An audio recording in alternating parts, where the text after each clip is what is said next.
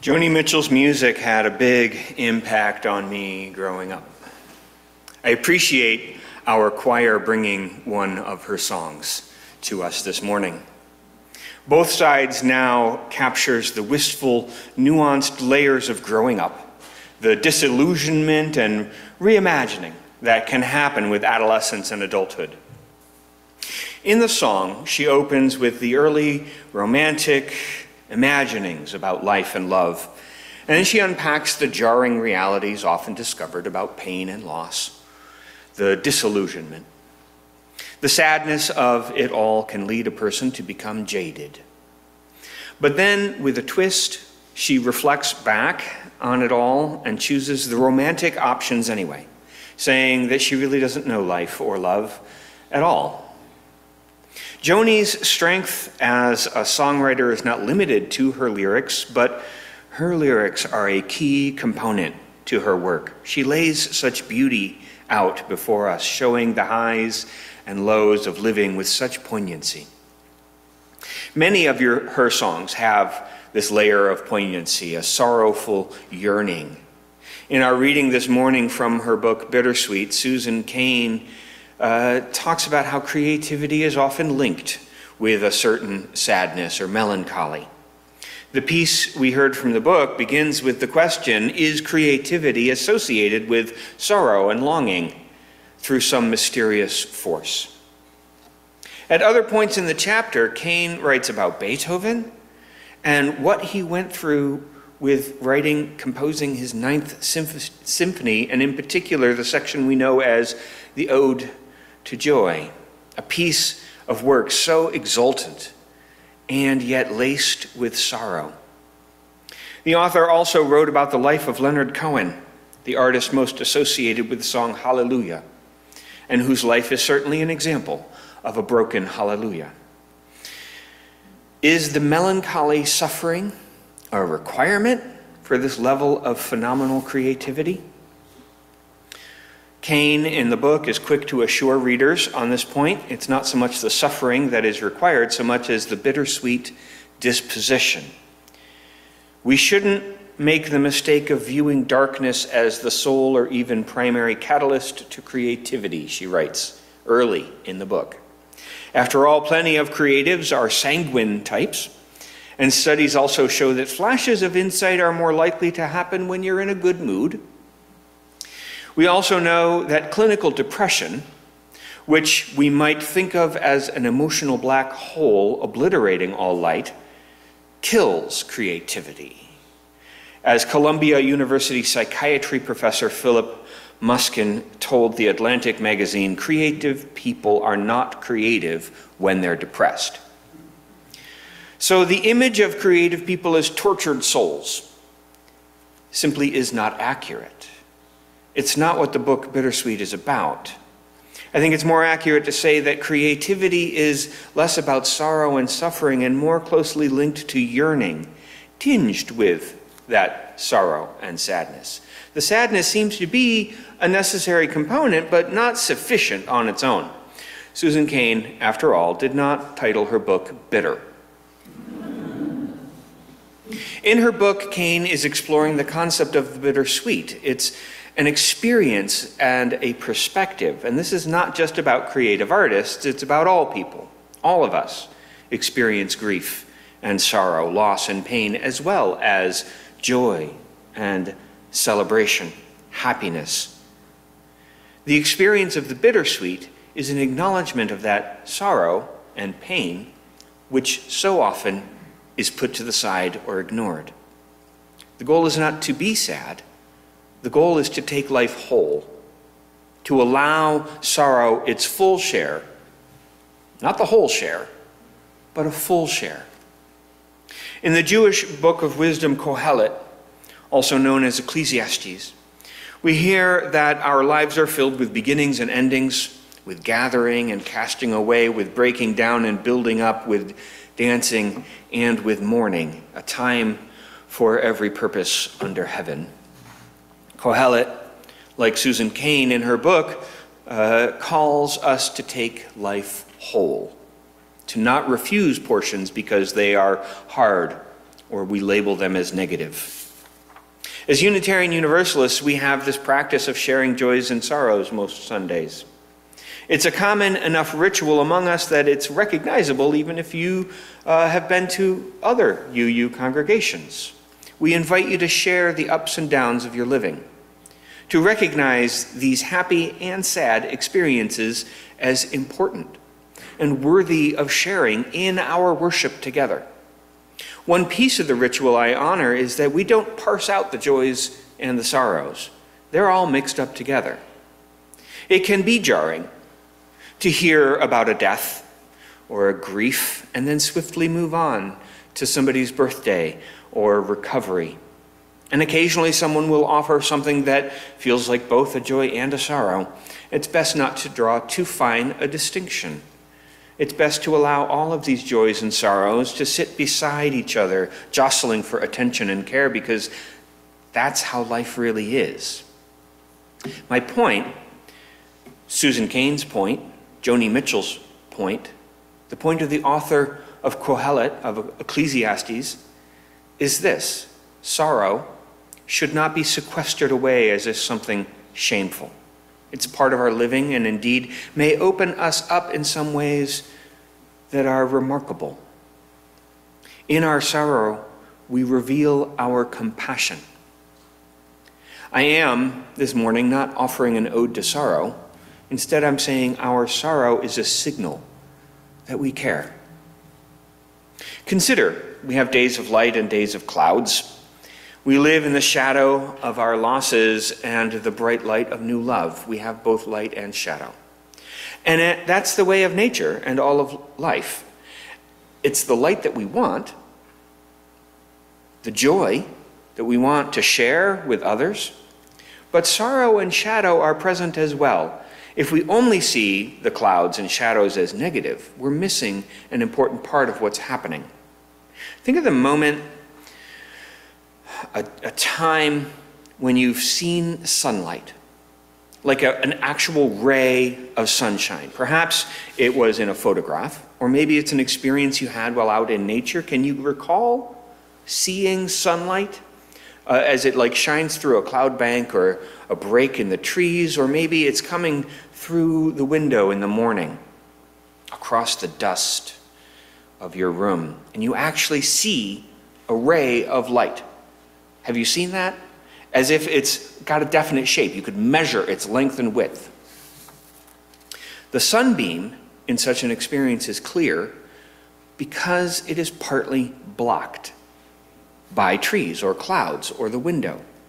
Unfiltered light shines everywhere all the time. We notice it, we see it, it's there.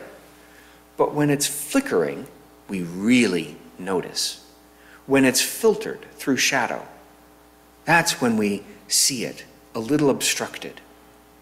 I've looked at clouds from both sides now. They're both the feathered canyons and that which blocks the sun, and really both are worth it. Here's the real secret. With Joni's song, we're invited to see both sides of life the love, uh, the clouds, all of those things, both sides. And we're invited to feel the joy and the sorrow, to, to the give and the take, the win and the lose. And the secret is the way that it's presented as two options. And yet the song calls us into a third option, which is both. Not one or the other, but both. A few years ago, I bumped into and took great solace in a blog post by Richard Rohr. He also talks a little bit about this. Richard Rohr is a process theologian I find to be very accessible. He was writing about order and disorder using a metaphor of three boxes. We begin our theologian claims with order, we call it normal. This is his first box. We then experience a disruption, a time of disorder, something that upsets the way we want things to be. Clouds. This is the second box. He continues saying that if we keep at it, we can find our way into reorder. This is not returning to how things were before, it's instead a reordering toward the future, given what has happened. Richard Rohr wrote Whenever we are led out of normalcy into sacred open space, It's going to feel like suffering because it is a letting go of what we used to be. So we often call that second box negative. He's calling it sacred open space. Essentially, he's advocating for the value of disorder. We could have, uh, he could easily have written about imperfection or suffering or grief. He picked a more neutral concept disorder. That second box in his metaphor disorder. You could equally think of it as the progression from thesis, antithesis, and synthesis, or as uh, sunlight, clouds, and sunbeams that arise from the interplay of light and shadow. This is not meant as a moral judgment either about light versus dark or joy versus sorrow. Instead, it's an acknowledgement of comfort and discomfort and the values of each. This is always painful on some level. Rohr writes about in that blog, describing the move from the first box order into the second box disorder. But part of us has to die if we're ever going to grow larger, he says. And he reminds folks of John's gospel, Jesus saying, Very truly, I tell you, unless a kernel of wheat falls to the ground and dies, it remains only a single seed. But if it dies, it produces many seeds. Joni Mitchell's song describes her childlike romantic imaginings about life and love and they fall to the ground and they die. She reveals the jarring disillusionment and the hurt, the sadness of it all that can lead a person to become jaded. That's Rohr's second box, the disorder. Joni Mitchell's song then suggests not simply return to the first perspective, but an appreciation of that original romantic view through the lens of the lived heartbreak and sorrow. The goal is never to remain in the grief, or the jaded heartbreak. It's a box to move through. The goal is to take life whole, to live all of it. Here's a piece uh, from Adrienne Maree Brown, activist, writer. She says this Put your attention on suffering, which is constant and everywhere, and it is all you will see. Joy will come and laughter, but you will find it brief, possibly a distraction. Put your attention on joy, being connected and feeling whole, and you will find it everywhere. Your heart will still break. You will know grief, but you will find it a reasonable cost for the random abundance of miracles, the soft, wild rhythms of love. Adrienne Maree Brown is sharing here the same message I take from Joni Mitchell's song.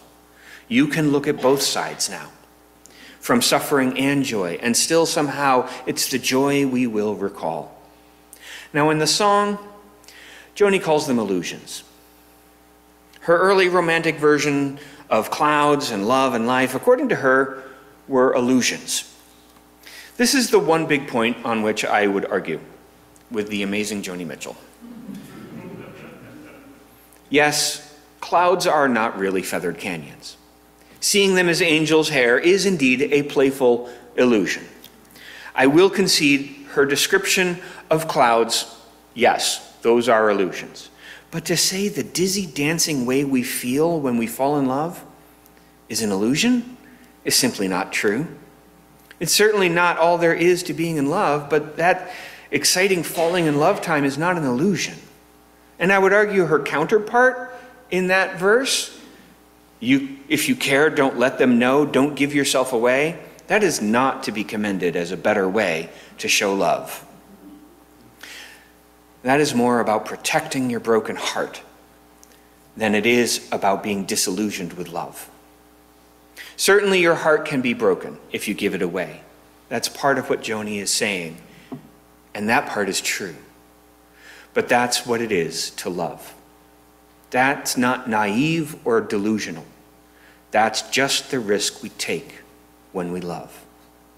And so it is with life, too. Life is not meant to be something safe. It's meant to be a risk of love and faith. It's not something to be done shielded and in fear. The better way, living openly with all the tears and fears and feeling proud, that's not an illusion. That is, as I say, the better way. And when Joni ends each chorus, saying that she recalls the, that open and vulnerable way best, that is what Adrienne Maree Brown is saying too. That's the reorder that Richard Rohr is calling for in the third box. Approaching from the side of joy, Adrienne Maree Brown says, but be open and vulnerable to both the joy and the sorrow in life, and all will be well. It's bittersweet. That's how life is. Consider the interplay of light and shadow, the dynamic interchange of joy and sorrow, the wild poignancy of your loving. Be not locked into what has always been.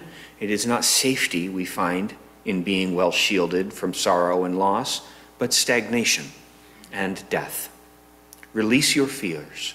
Trust that the risk of sorrow and sadness is worth it more often than not.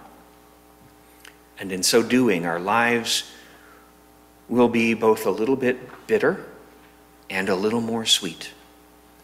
And what's more, they will be whole. That is the goal. Let us have faith that such a life will lead us deeper into the fullness of living. In a world without end, may it be so. Please join